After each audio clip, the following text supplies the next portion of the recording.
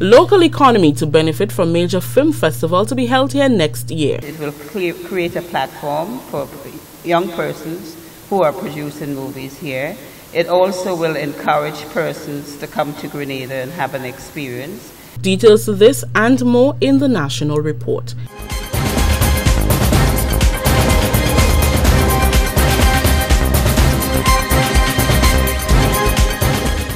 With the National Report, I am Rikisha St. Louis.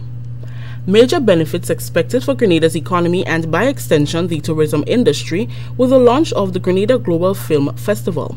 The festival, which will be held from May 19th to the 24th, 2017, is designed to bring films to Grenada that would otherwise not be shown here due to lack of opportunities to view them. During the week-long festival, about 12 films will be shown at various locations on big screens and a 40-foot inflatable screen which will be erected at the Montrouge playing field. The festival is being organized by the members that will make up the Grenada Film Commission. Senior advisor Charles Bowler says the purpose of the festival is to expose film to the international community, and many on the international scene are already interested. He expects major benefits for Grenada's economy and tourism. It's a very special place here. And the world doesn't know very much about it yet, we find. And I'm stunned. I don't know why. So we want to bring in more tourism. It helps the local economy. Hotels, restaurants, car and truck rentals. Again, local makeup artists, local production houses, people who want to be in the business. Culture Minister Senator Brenda Hood hopes the festival will open people's eyes to the possibilities in the film industry. Overall, we see it as one way, another avenue in terms of getting Grenadians involved in the industry because as you may be aware or not be aware, the film industry is a multi-billion dollar industry. And if us here in Grenada can get a percentage of that, to start off with, it will make a big difference. Two days of workshops and training will be provided by skilled professionals in the business during the festival, which has also been supported by Disney.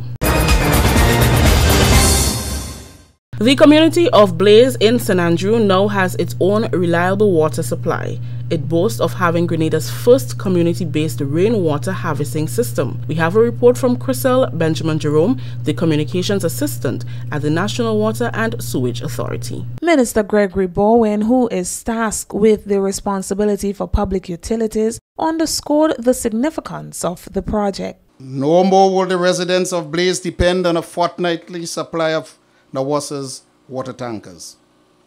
No longer shall we hear repeated calls for a pipe network that is comparable to other communities within the Tri-Island state. Parliamentary representative for the area, Minister Roland Bhola, hailed this achievement as a watershed moment in Grenada's history. I took it upon myself as a challenge to ensure that if there's only one thing I can do for this community in my lifetime as a politician, is to try to ensure that they do get an adequate supply, a reliable supply of good drinking water. NAWASA, through its general manager, Mr. Christopher Husbands, proposed this project more than three years ago with GIZ answering the call. I can tell you there had been a number of occasions when the MP and myself, with a team of persons, have been hiking different parts of here looking for a water source. This is the National Report. More news after the break. The Aedes aegypti mosquito spreads the dengue, chikungunya, and Zika viruses. It only needs a small amount of water to breed. Check for stagnant water regularly. Buckets including the rim should be drained and kept dried. Avoid using flower pot plates, but if you do, ensure they're emptied every two days. Get rid of water that settles in potted plants. Dish rack trays should be emptied daily.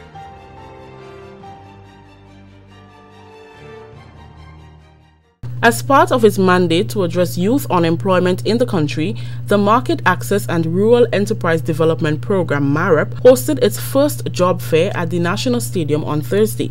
It seeks to provide an avenue through which recently trained and certified youth can become job ready as well as find employment. More than 130 young people attended the event.